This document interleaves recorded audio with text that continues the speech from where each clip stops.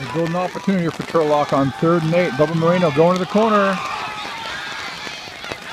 Touchdown, and it's going to be pass interference.